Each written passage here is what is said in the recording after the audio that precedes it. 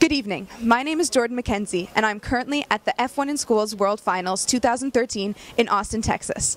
F1 in Schools is the largest student competition in the world, aiming to prepare competitors for a future career in motorsports. They design a car from scratch that has to comply with countless regulations. Then they manufacture the car themselves. As in real Formula One, they are required to find sponsorship, build a pit display, and come up with a portfolio.